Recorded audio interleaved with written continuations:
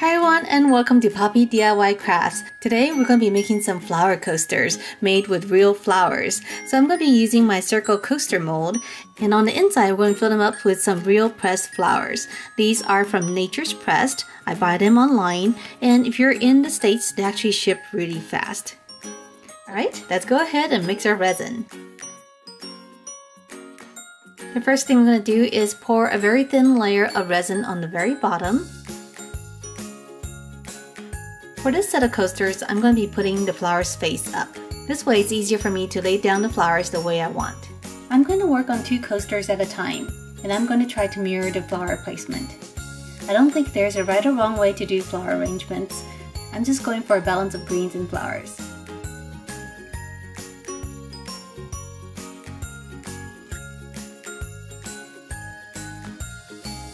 So the first two is done, let's do the next two.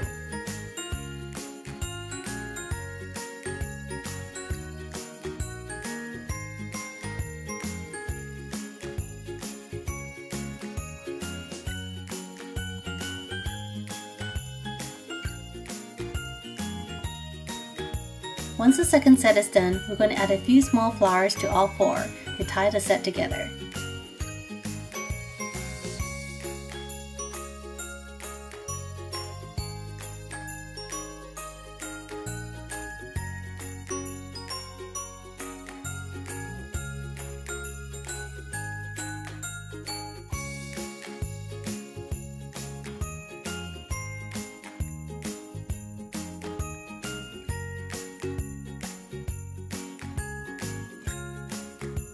Now that we're done, we can slowly add more resin on top. We don't want to pour too quickly and risk moving the flowers around. Once we're done, we're going to wait about 12 hours before we demold.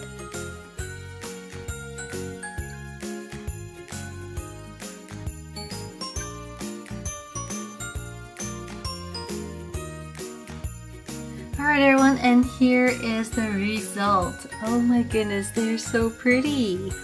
Let's just take a look at this. So here is one of the pieces. This one has the large orange flower. Here is kind of the matching opposite piece. I love how clear they are. Here is a second piece. This one is the one with the yellow flowers. They're so delicate and pretty. So I think for these coasters, I'm going to leave the edges clear. Uh, Sometimes I paint them with gold or silver gilding and they look really nice that way. However, I think these are so pretty by themselves that I'm just gonna leave it alone. Alright everyone, so I hope you enjoyed watching me make this set of coasters. I think they turned out really beautiful and I want to make more. So if you like this video, make sure to subscribe and I'll see you next time. Bye!